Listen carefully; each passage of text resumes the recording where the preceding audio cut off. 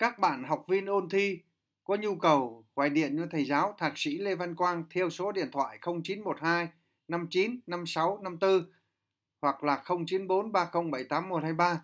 À, các bạn học viên ôn thi nâng ngạch công chức tuyển công chức học cơ hội trắc nghiệm trên phần mềm hình thức trắc nghiệm.vn học các môn kiến thức chung, môn tiếng Anh, môn tin học. À, các bạn có nhu cầu gọi điện cho thầy giáo thạc sĩ Lê Văn Quang theo một trong hai số hiển thị trên màn hình để được hướng dẫn. Một lần nữa chúc các bạn thành công và cảm ơn